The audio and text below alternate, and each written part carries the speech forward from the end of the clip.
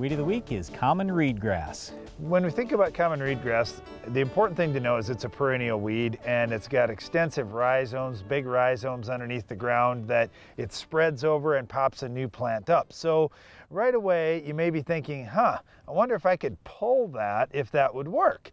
Well, one of our people that works with Ag PhD here, he was out doing some filming and was filming some common reedgrass, attempted to pull some and cut his hand, Brian. That's not a good not a good thing. Don't nope. do that. Don't try and pull common reedgrass. You have to use a herbicide on if you want to get down through that root system and really kill yeah, it. Yeah, and even tillage. Tillage isn't going to work very well because this thing has such a massive root system and rhizomes. So what you want to do is spray Roundup at a very strong rate, use the highest labeled rate, and that will do a pretty good job.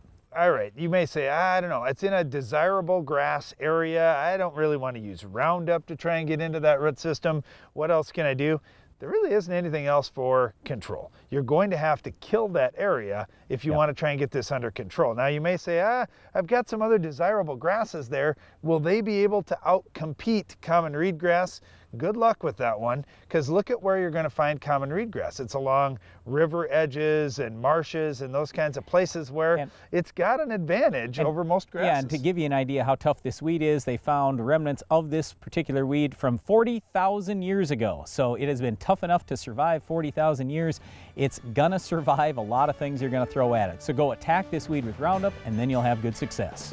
That's all the time we have for this week's Weed Common Reedgrass, but Iron Talk is coming up next.